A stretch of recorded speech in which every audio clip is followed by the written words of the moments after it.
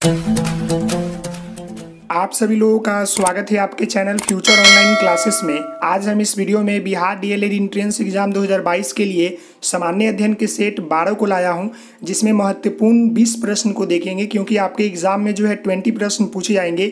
इसलिए मैं 20 प्रश्नों का सेट जो है चला रहा हूँ। इससे पहले मैंने इलेवन वीडियो पूरी तरह से कंप्लीट किया है। अगर आपने वो वीडियो नहीं देखा है तो आप हमारे प्ले लिस्ट में जाकर आसानी से देख सकते हैं। इस वीडियो में जो है महत्वपूर्ण बीस प्रश्न को देखेंगे, जो कि काफ़ी महत्वपूर्ण रहेंगे। आपके डीएलएड के एंट्रेंस एग्ज़ाम 2022 के लिए तो चलते हैं प्रश्न के ऊपर।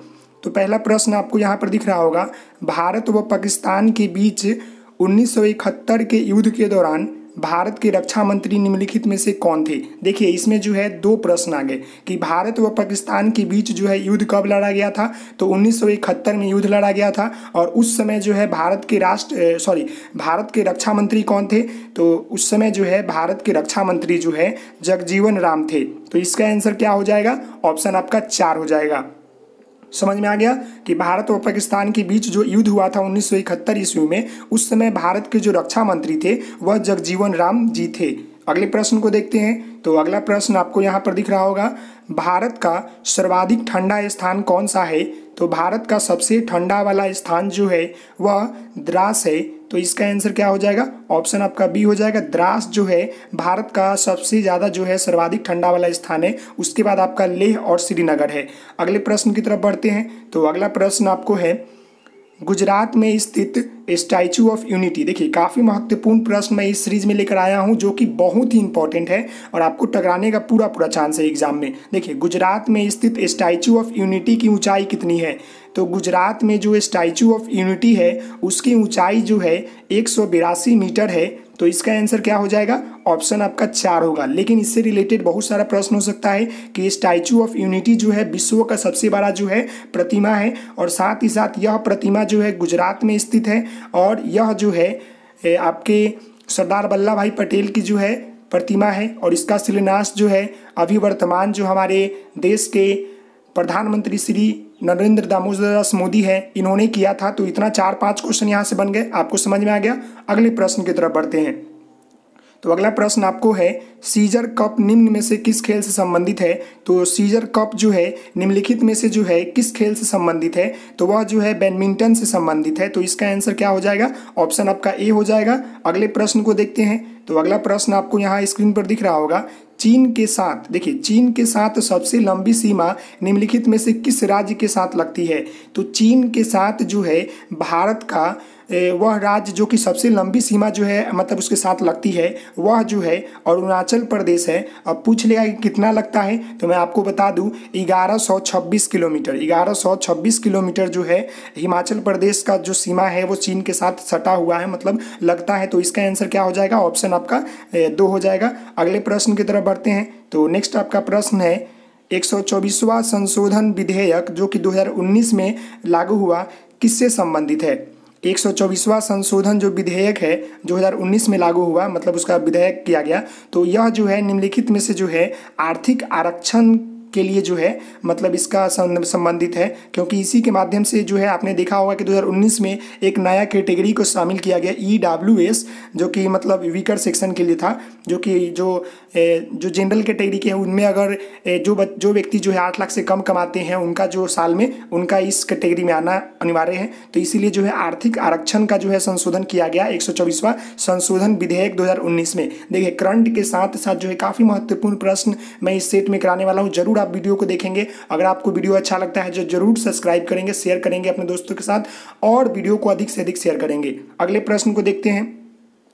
तो अगला प्रश्न आपका है निम्नलिखित में से किस शहर में uranium bank, union bank of India का मुख्यालय? देखिए, निम्नलिखित में से किस शहर में यूनियन बैंक ऑफ़ इंडिया का मुख्यालय है? तो भारत में जो है, यूनियन बैंक ऑफ़ इंडिया, जो आपका एक बैंक है, इसका मुख्यालय जो है, यह मुंबई में है। तो इसका आंसर क्या हो जाएगा? ऑप्शन आपका ए हो जाएगा। अगले प्रश्न को देखते हैं। तो अगला प्रश्न आपका है, महात्मा गांधी जी की माता का क्या नाम था? इसका मैं आंसर नहीं बताने वाला हूँ, आप लोग मुझे बता देंगे कमेंट करेंगे कि महात्मा गांधी जी की माता का क्या नाम था? तो मैं आपको बता ही देता हूँ कि महात्मा गांधी जी की माता का नाम पुतली बाई था तो इसका आंसर क्या हो जाएगा? ऑप्शन ए हो जाएगा, कस्तूरबा बाई जो है, कस्तूरबा गांधी उनकी पत्नी का नाम था। याद रखेंगे, अगले प्रश्न को देखते हैं। तो अगला प्रश्न आपका है ज्योतिराव फुल्ले द्वारा सत्य शोधक समाज की स्थापना किस वर्ष की गई थी? तो ज्योतिराव फुल्ले द्वारा जो है सत्य शोधक समाज की स्थापना अठारह सौ तिहत्तर ईस्वी में की गई थी। तो इसका आंसर क्या हो जाएगा? ऑप्शन आपका बी हो जाएगा मतलब दो हो जाएगा। अगले प्रश्न की तरफ़ बढ़ते हैं। तो अगला प्रश्न आपको यहाँ पर दिख रहा होगा कि राष्ट्रीय पोषण संस्थान कहाँ पर स्थित है? तो राष्ट्रीय पोषण संस्थान जो है, यह हैदराबाद राज्य में स्थित है। तो इसका आंसर क्या हो जाएगा? ऑप्शन आपका चार। नेक्स्ट देखते हैं। तो नेक्स्ट आपका प्रश्न है कि किस वर्ष भारतीय क्रिकेट टीम ने दूसरी बार विश्व पुरुषों का एक दिवसीय विश्व कप जीता। देखिए, यहाँ पर पूछ रहा है कि किस वर्ष जो है भारतीय क्रिकेट टीम ने दूसरी बार वर्ल्ड कप जीता मतलब वनडे सीरीज़ में। तो दूसरी बार भारत जो है विश्व विजेता कप बना क्रिकेट में। तो वह जो बना 2011 में बना, धोनी की कप्तानी में जो है वर्ल्ड कप जीता था। और पहला कप जो है उन्नीस ईस्वी में, देखिए, याद रखिएगा, उन्नीस ईस्वी में जो है कपिल देव की कप्तानी में जो है भारत जो है एक दिवसीय विश्व कप जीता था। और दूसरा जो है 2011 में, जो कि धोनी की कप्तानी में जो है एक दिवसीय विश्व कप जीता था। काफ़ी महत्वपूर्ण प्रश्न है, इसे याद रख लेंगे। अगले प्रश्न की तरफ़ चलते हैं। तो अगला प्रश्न आपका है, मानव शरीर में सबसे बड़ी हड्डी कौन सी होती है? तो यह क्वेश्चन जो है बार बार रिपीट हो रहा है मतलब कि महत्वपूर्ण है। तो मानव शरीर में जो है सबसे बड़ी हड्डी जो होता है, वो आपका फीमर होता है, जो कि जांग की हड्डी होती है। तो इसका आंसर क्या हो जाएगा? ऑप्शन आपका ए हो जाएगा। और जो आपको स्टेपिस जो यहाँ दिख रहा है, जिसको हम लोग रकाब बोलते हैं, यह कान की हड्डी होता है, जो कि छोटी हड्डी होती है शरीर की। नेक्स्ट देखते हैं। तो नेक्स्ट प्रश्न है, दिलवारा जैन मंदिर। देखिए, दिलवारा जैन मंदिर किस राज्य में स्थित है? तो दिलवारा का जैन मंदिर जो है, यह राजस्थान राज्य में स्थित है। तो इसका आंसर क्या हो जाएगा? ऑप्शन आपका ए हो जाएगा। अगले प्रश्न को देखते हैं। तो अगला प्रश्न आपको दिख रहा होगा कि कामाख्या कामाख्या मंदिर जो है, किस राज्य में स्थित है? तो कामाख्या मंदिर जो है, यह असम राज्य में जो है स्थित है। तो इसका आंसर क्या हो जाएगा? ऑप्शन आपका तीन नंबर हो जाएगा। अगले प्रश्न को देखते हैं। तो अगला प्रश्न आपको यहाँ दिख रहा होगा। कंप्यूटर के संदर्भ में पीडीएफ का पूर्ण रूप क्या होगा? देखिए, फुल फॉर्म से भी आपके प्रश्न पूछे जाएँगे और काफ़ी ज़रूरी है कि कंप्यूटर के कुछ महत्वपूर्ण जो फुल फॉर्म होते हैं, उनको आप रट लेंगे ताकि आपके एग्ज़ाम में आएँगे तो लगा देंगे मतलब टिक लगा देंगे। देखिए तो यहाँ पी का जो फुल फॉर्म होता है, ये बहुत सारे एग्ज़ाम में पूछे गए हैं एयरफोर्स या रेलवे या जो भी आपके एसएससी के एग्ज़ाम होते हैं, उसमें यह क्वेश्चन जो है पूछा जा चुका है पहले ही, इसीलिए महत्वपूर्ण प्रश्न है। तो देखिए, पीडीएफ का जो फुल फॉर्म होता है, वो आपका होता है पोर्टेबल डॉक्यूमेंट फॉर्मेट तो इसका आंसर हो जाएगा आपका option A portable document format अगले प्रश्न की तरफ़ बढ़ते हैं। तो अगला प्रश्न आपका है विश्व थायराइड दिवस। देखिए विश्व थायराइड दिवस प्रतिवर्ष कब मनाया जाता है? तो विश्व थायराइड दिवस जो है प्रतिवर्ष 25 मई को जो है मनाया जाता है। तो इसका आंसर क्या हो जाएगा? ऑप्शन आपका दो हो जाएगा। अगले प्रश्न की तरफ़ बढ़ते हैं। तो अगला प्रश्न आपका है, चेंजिंग इंडिया पुस्तक के लेखक कौन है? तो देखिए, काफ़ी महत्वपूर्ण प्रश्न है। चेंजिंग इंडिया पुस्तक के जो लेखक हैं, वो आपके जो है मनमोहन सिंह जी है। तो इसका आंसर क्या हो जाएगा? ऑप्शन आपका चार हो जाएगा। अगले प्रश्न को देखते हैं। तो अगला प्रश्न आपका है निम्नलिखित में से कौन सी गुफा, देखिए निम्नलिखित में से कौन सी गुफा महाराष्ट्र में स्थित है? तो एलोरा की गुफा जो है महाराष्ट्र राज्य में स्थित है। काफ़ी महत्वपूर्ण प्रश्न है, यह बार बार पूछा जाता है, इसीलिए इसको लिया गया है। अगले प्रश्न की तरफ़ बढ़ते हैं। तो अगला प्रश्न काफ़ी ईजी है, जापान की मुद्रा क्या है?